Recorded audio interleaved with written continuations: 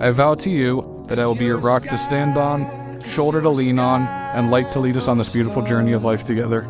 Today, I finally get to call you my husband, and I cannot wait to grow old with you, to share our lives together, and to make memories that will last a lifetime.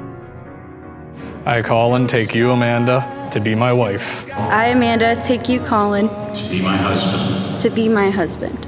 And now it's with great pleasure that I introduce to all of you for the very first time Mr. and Mrs. Colin Chinaski. Let's give them a round.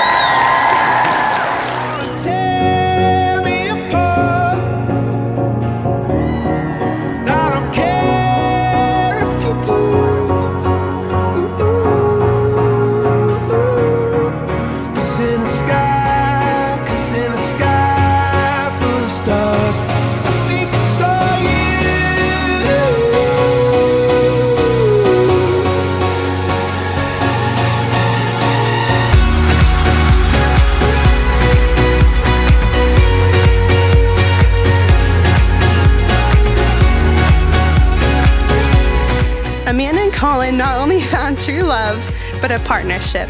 I'm so excited to see what the future has in store and the amazing things that you accomplish together.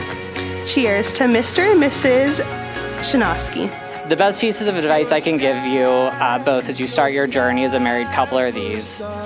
As sweet as it sounds, don't let your goal to be to grow old together.